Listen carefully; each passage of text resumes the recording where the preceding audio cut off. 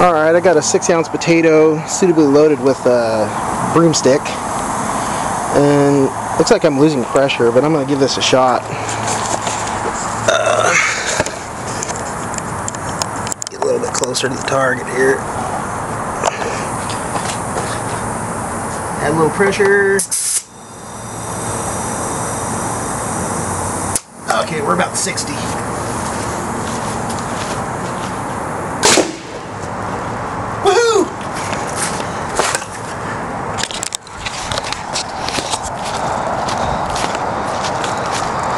Looks like I didn't break it. That's three quarter plywood. Wow. It's pretty good power though. Okay, I had a little problem after that shot. This has clearly come dislodged in here. I guess that's not a very good way to secure it. I'll have to figure something else out, but it kind of works. Okay, we're going to try this again. I got probably about an 8 ouncer right now. I'll go up to about 60.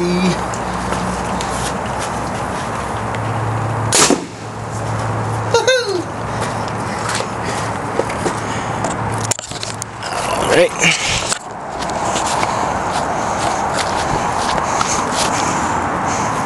Kind of pushing it into the dirt there.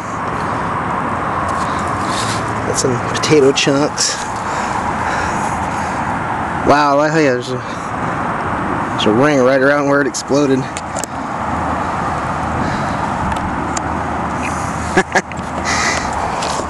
well, looks like it's holding air after that shot. seal didn't come loose that time. Nifty. Okay, I got another one that's about six ounces. Go about 70. Oh yeah! Now we're talking.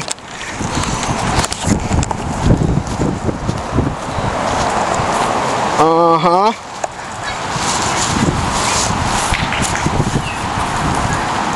Oh yeah. That's some destructive force right there. Nice.